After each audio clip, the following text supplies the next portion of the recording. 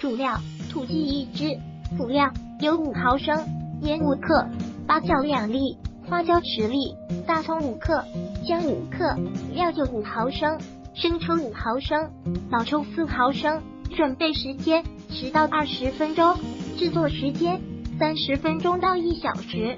鸡肉洗净，剁成大块，放水中泡去血水。锅中烧水，放入鸡块焯水，捞出后放水中清洗干净。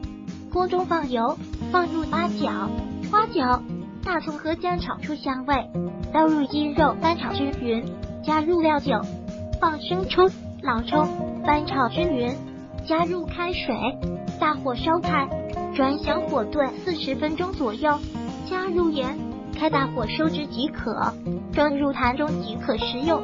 烹饪技巧，炖的时间根据鸡的大小和老嫩来掌握。我炖的是土鸡，所以时间长了一些。如果喜欢本视频，请分享并订阅本频道。